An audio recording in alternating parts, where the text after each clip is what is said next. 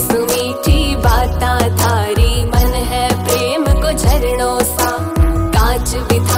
शर्मा जावे, ऐसो रूप सजीलो बनी थारो चाँद सरी सो मुखड़ो, कोई नज़र नहीं लग जाए। बनी थोड़ा हलवे हलवे चालो, कोई मोच नहीं पड़ जाए।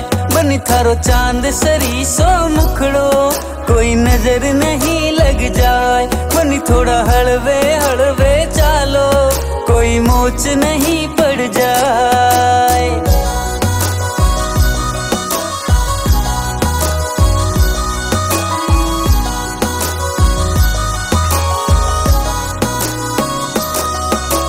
केसर की थे, क्यारी लागो, रंग भरी थे थाली।